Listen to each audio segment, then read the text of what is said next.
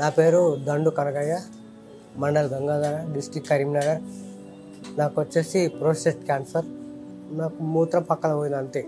నేను ఫుడ్ తినుడు అన్నీ అన్నీ బాగానే ఉన్నాయి. పక్కలో మూత్రం పోతుంది.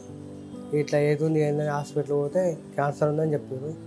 చెప్పిన తర్వాత మళ్ళీ నేను క్యాన్సర్ హాస్పిటల్ హాస్పిటల్ అందులో పోయిన.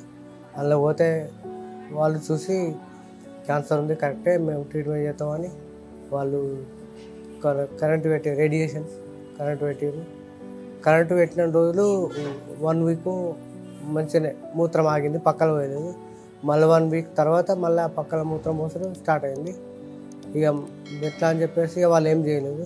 నాకు ఈ సమస్య అయి సంవత్సరం అవుతుంది.